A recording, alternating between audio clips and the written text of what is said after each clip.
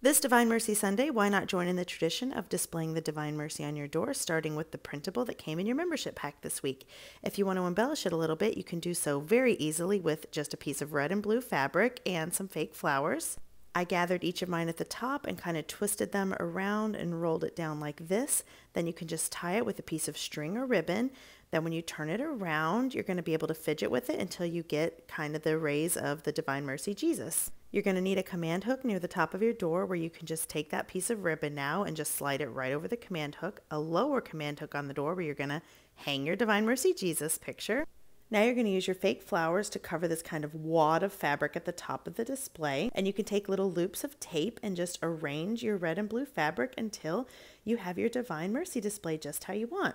And I've included the link in the membership pack on how to do a Divine Mercy house blessing for this season as well.